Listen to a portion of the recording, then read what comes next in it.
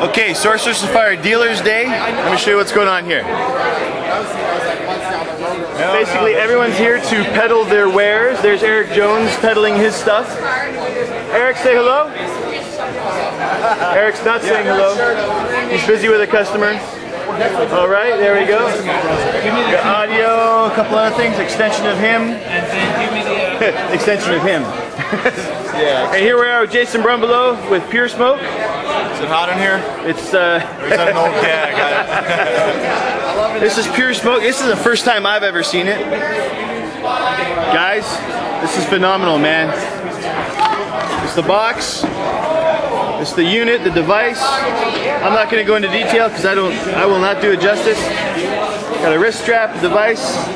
Something's on fire. Can you imagine being at the urinals and sticking that down your pants?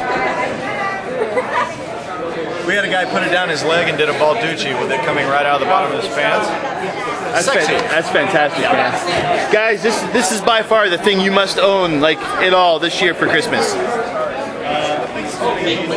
Comes with 11 of those. Condenser coil. Pump. Wristband, battery pack.